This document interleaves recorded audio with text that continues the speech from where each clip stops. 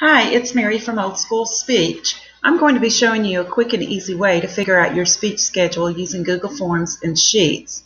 I do have to preface this by saying that when I first started in the field, I asked the teachers to give me the three best times for their students to be out of the room. After a while this didn't work, so I made a grid with possible speech times and asked them to mark out the times they didn't want me to have the students, or it wasn't okay for the students to be out of the room. After trying that this year, it didn't work at one of my schools, so I used Google Forms, transferred the responses to Google Sheets, and I have my schedule by asking them to give me the three best times for the students to be out of the room. Erin at Word of Mouth has a wonderful tutorial on how to use Google Calendar to make your therapy schedule.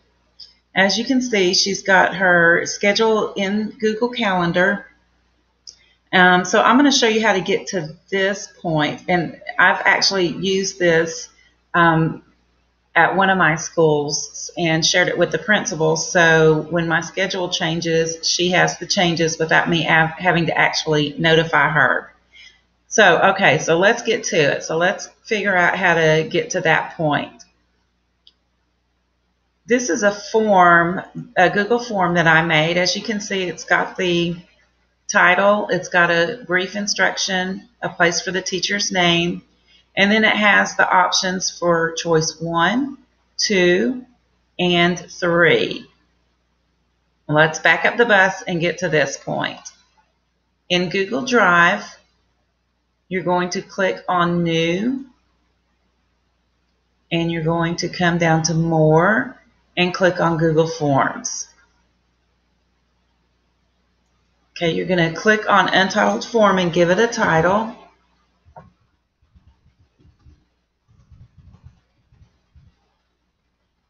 I'm going to make this three.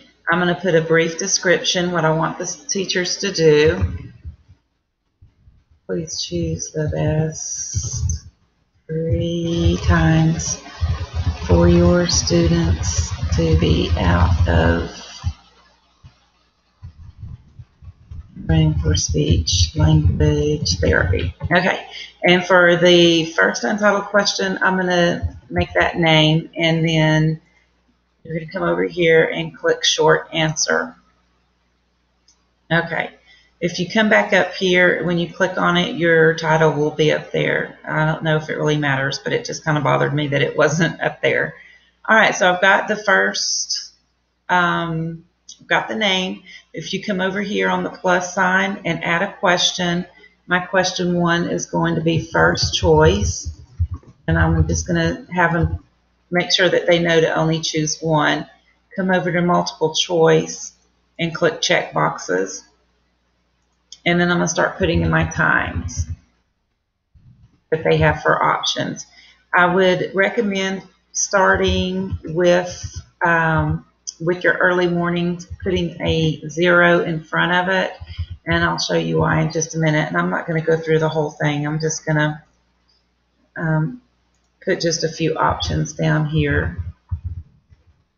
All right, so after I have all my options in, I'm going to click duplicate. It's going to duplicate what I just put in because all of my all of their choices are going to be the same times. I'm going to put in second choice. I'm going to duplicate again. And I'm going to put in third choice.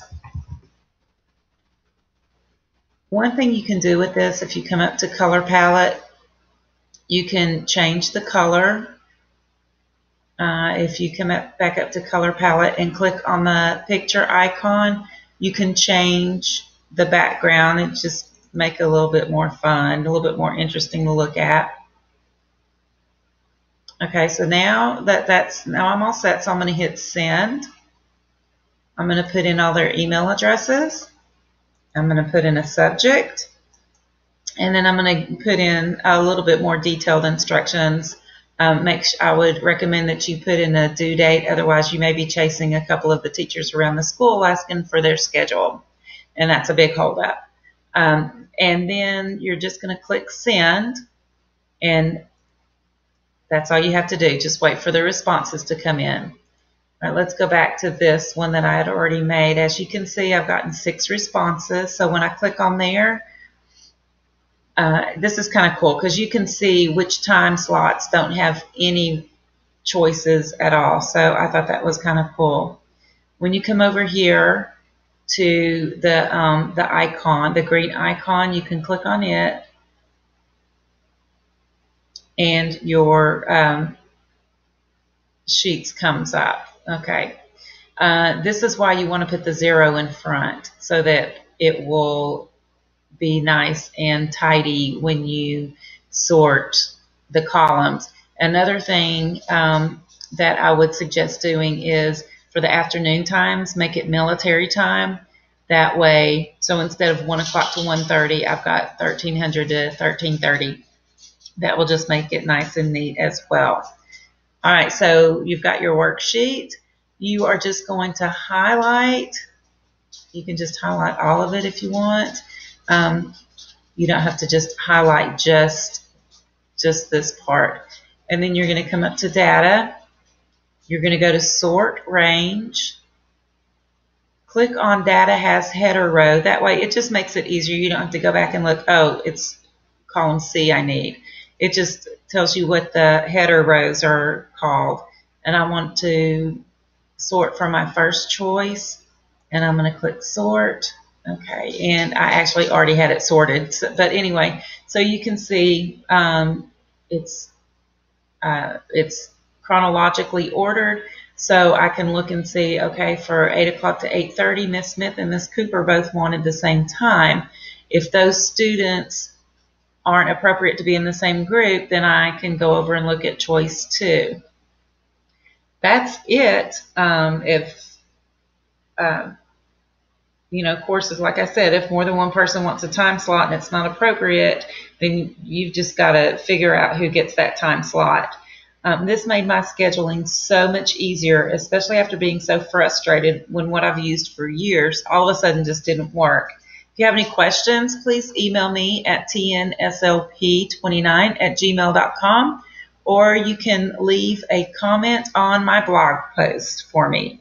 I really hope that this helps and make sure you go visit Word of Mouth and look at this therapy schedule video because it is fantastic. Want to thank Erin again for sharing that with us.